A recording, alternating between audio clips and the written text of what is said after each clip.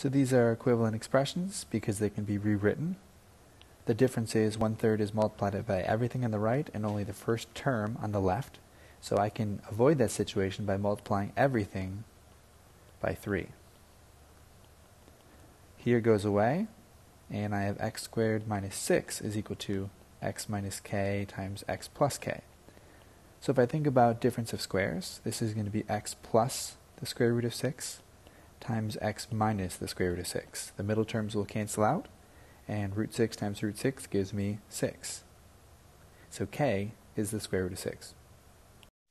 So my a value is 4, my b value is b, and my c value is 9. And if we have exactly one solution, that means if I use the discriminant part of the quadratic formula, it's going to equal 0. So the square root of b squared minus 4 times 4 times 9 is going to equal 0. Or in other words, b squared minus 144 is equal to 0. Or b squared is 144, or b is 12.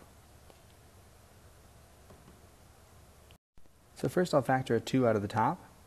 This gives me 2 times x minus 2. And I'm guessing then I'll try to factor x minus 2 out of this one. But first there's a 2 to factor out, so x squared plus x minus 2. Then I can rewrite this bottom equation as x plus 2 times x minus 1. So this is where I'm at, and I was hoping to cancel out x minus 2 and x minus 2, but it didn't quite work out. But it turns out that's what b is, and that's the answer.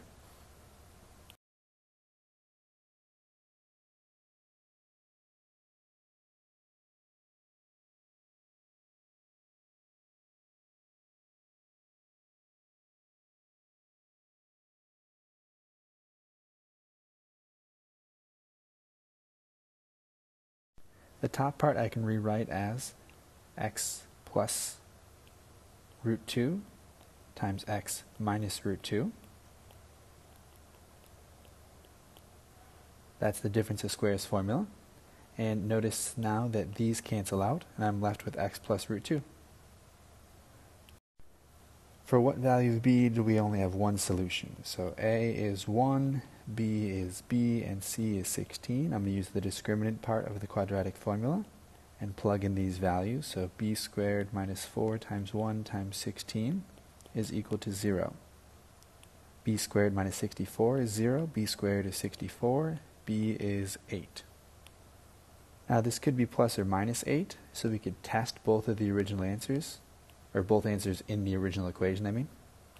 And depending on if this was 8 or negative 8, this would be written as x plus 4 times x plus 4 or x minus 4 times x minus 4. In both cases, there's still only one answer, so they both work. I'm going to use the reverse box method. So I know that this will be x to the fourth, and this will be 16. So I'm going to put x squared and x squared. Uh, factors of 16 that add up to 8 is going to be 4 and 4. And I have to make them negative to get to this negative 8x squared. And if I do so, that works out. So I'm looking at x squared minus 4 times x squared minus 4, which is this. And it turns out if I take x plus 2 times x minus 2, I get to this.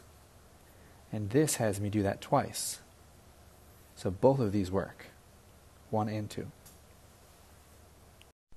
If that was a little confusing, think about x plus 2 times x plus 2 times x minus 2 times x minus 2, and you just pair these up.